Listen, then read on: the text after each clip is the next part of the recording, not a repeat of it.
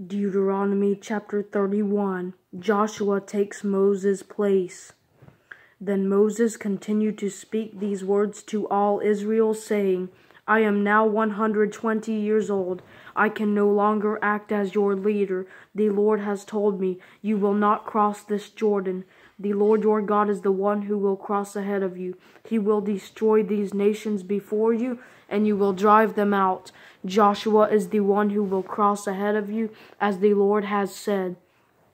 The Lord will deal with them as he did Sihon and Og, the kings of the Amorites, and their land when he destroyed them. The Lord will deliver them over to you, and you must do them to them exactly as I have commanded you. Be strong and courageous, but do not be terrified or afraid of them, for it is the Lord your God who goes with you. He will not leave you or forsake you. Moses then summoned Joshua and said to him in the sight of all Israel, Be strong and courageous, for you and will for you will go with this people into the land the Lord swore to give to their fathers. You will enable them to take possession of it. The Lord is the one who will go before you. He will be with you. He will not leave you nor forsake you. Do not be afraid or discouraged. Moses wrote down this law and gave it to the priests, the sons of Levi, who carried the ark of the Lord's covenant, and to all the elders of Israel. Moses commanded them.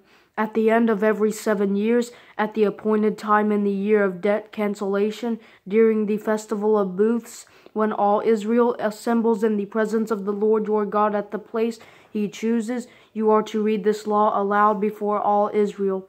Gather the people, men, women, children, and foreigners living within your gates, so that they may listen and learn to fear the Lord your God and be careful to follow all the words of this law.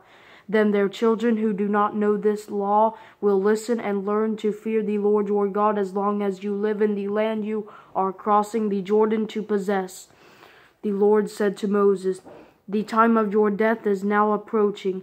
Call Joshua and present yourselves at the tent of meeting so that I may commission him.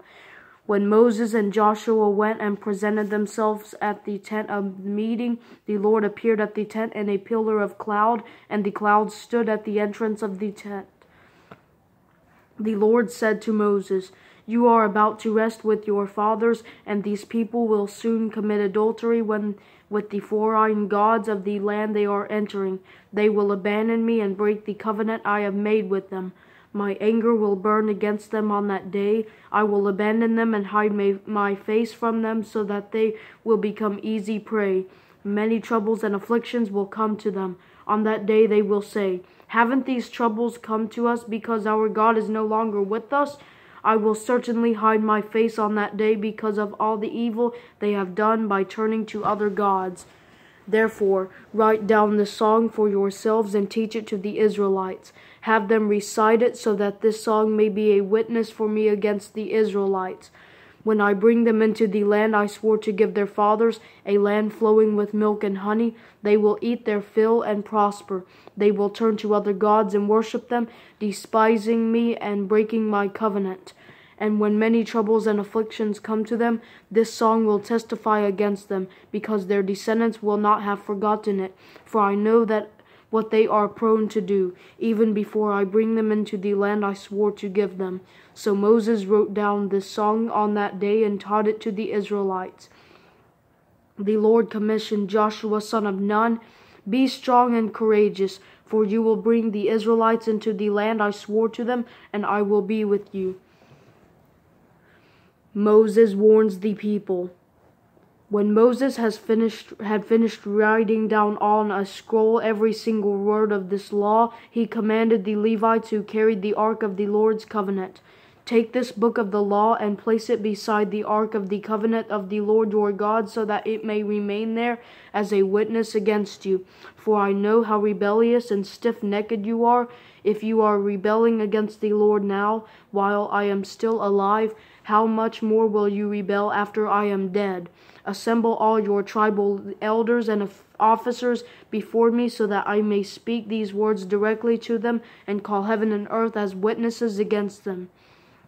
For I know that after my death you will become completely corrupt and turn from the path I have commanded you. Disaster will come to you in the future because you will do what is evil in the Lord's sight, infuriating him with what your hands have made. Then Moses recited aloud every single word of this song to the entire assembly of Israel.